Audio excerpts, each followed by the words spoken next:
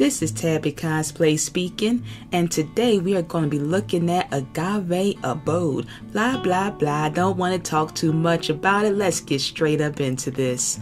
Okay, Agave Abode is worth $18,239. It is a pretty small house at 20 by 15, but it's been one of my actual favorites in The Sims. I don't know why I haven't checked it out yet. It is a one floor house with two bedrooms and one bathroom. It is such a great starter home. So small, so cute. It'd be excellent for just one sim to just grow their life and their life's work. That's one of the things that I actually love about this house. And it's so, it looks like a little tiny, little mini church. Let's go inside of it. Okay. As soon as you go in, the first thing you'll notice that there's no television. Everything is pretty up front, and that's probably what keeps the price down so low. Because there's absolutely no television whatsoever. But look at that nice big wall. Imagine getting some of your uh, your paychecks and really starting to make it big as a writer or a musician and buying a huge television set. That could work out so nice. This bathroom is also pretty spacious. Let's wash our hands as we do. We just came in from the outdoors. And check out this bathroom. You could definitely sit a tub and shower in here. It's got potential. This house can also grow if you wanted to.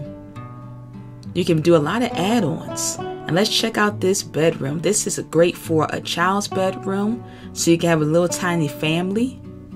You can also put bunk beds, a crib. It'd be great, or just an activities room maybe fitness if you're still single. And here's the master bedroom. Again, you can add television here, more fitness gear, anything you want. Let's go on the other side. Check out these windows. The view is very nice.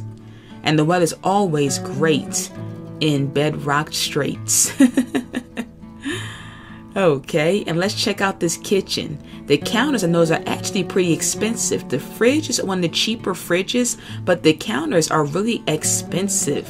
So I would keep those. It's probably what makes the house cost a little bit more. How nice and expensive those are. But everything else you can upgrade with no problem. Let's knead our dough. And I thought we'd make a nice pumpkin pie since it's October. And voila, look at that nice pumpkin pie. And I thought it also matches the walls. The whole walls are more of a pumpkin pie sort of look. Now I got a taste for pumpkin pie. Mmm, that is just perfect.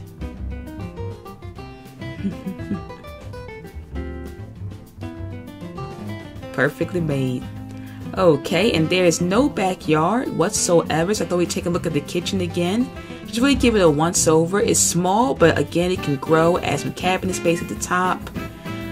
But that's basically it, guys. It's a nice, cute house. No backyard, not much of a side yard, but you can definitely grow it up and add second floor and really grow your family here. Okay, guys, tell me what y'all think, and I'll see y'all later. Bye, babies.